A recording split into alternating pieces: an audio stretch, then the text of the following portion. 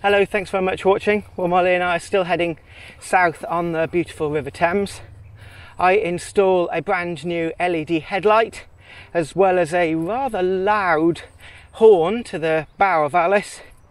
And at Lower Basildon, right next to the river, there is a derelict and rather creepy mansion.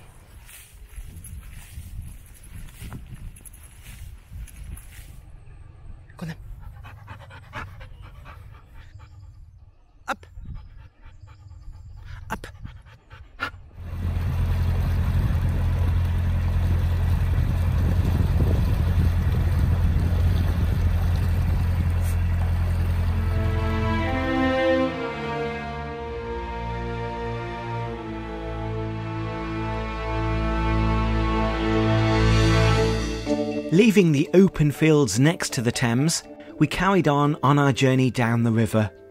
Passing the market town of Abingdon, the river curves back on itself back and forth. Just to the east of the village of Benson is the main operating base for the Royal Air Force, RAF Benson. It's home to its fleet of Westland Puma HC 2 support helicopters, and the airfield's been here for 80 years. Carrying on south past Wallingford and Goring, once again I moor up for the night next to a large quiet meadow.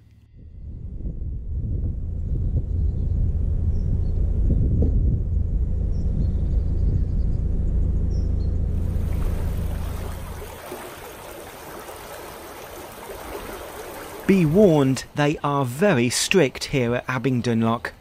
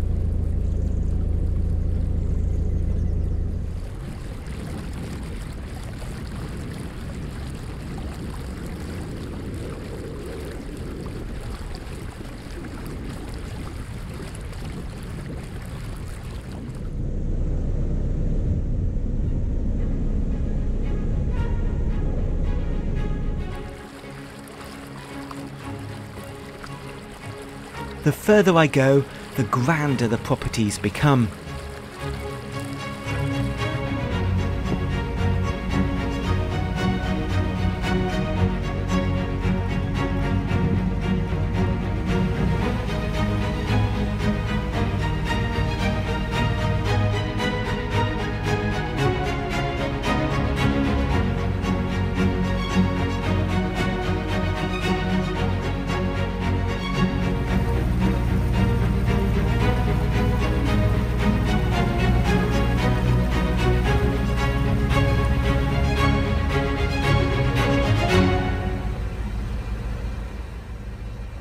That is, apart from one.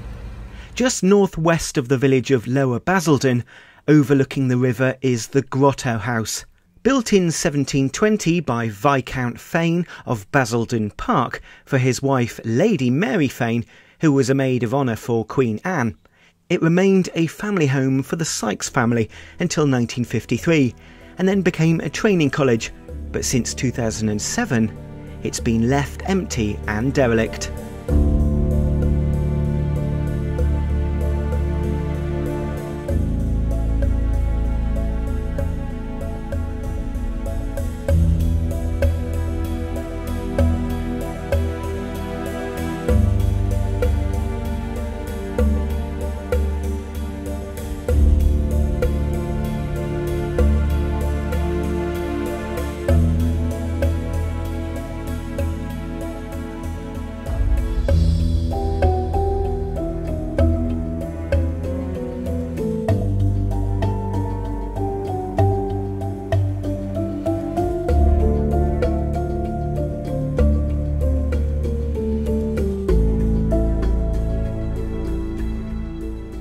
Have been quite a few rumours about the Grotto House over the years.